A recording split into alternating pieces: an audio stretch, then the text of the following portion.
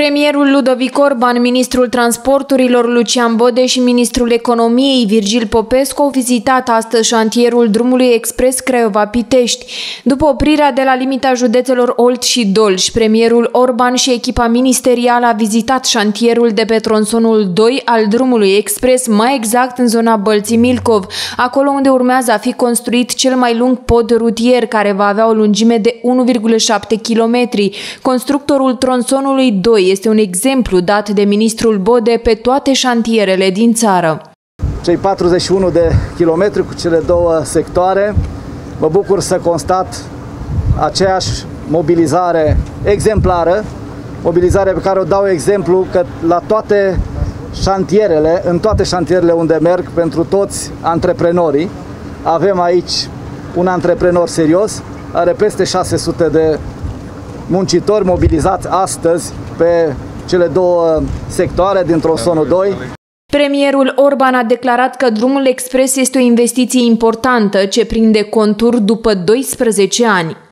Ca ministru al transporturilor, în 2008 am semnat memorandumul de înțelegere cu Ford, în care guvernul s-a angajat să realizeze acest proiect de investiții. Și mă bucur să văd că prinde viață sub ochii noștri și prinde viață sub ochii mei eh, în calitate de prim-ministru. Șeful guvernului a subliniat că în acest moment investițiile sunt punctul cheie, refacerea infrastructurii rutiere sau feroviare fiind primordiale pe lista guvernului. Așa cum eh, pentru noi investițiile în infrastructură reprezintă un pilon fundamental al modernizării României, a relansării economice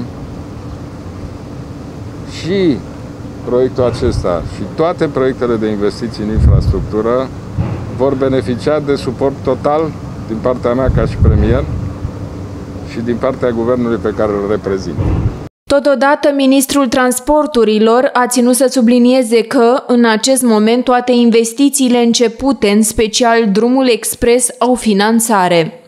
6,4 miliarde de lei avem alocați prin, prin titlul 58 fonduri europene fonduri uh, europene nerambursabile. Așadar, în acest an, toate șantierele care sunt deschise, 164 de kilometri în acest moment de autostrăzi și drumul expres, tot ceea ce se aduce la decontare se plătește.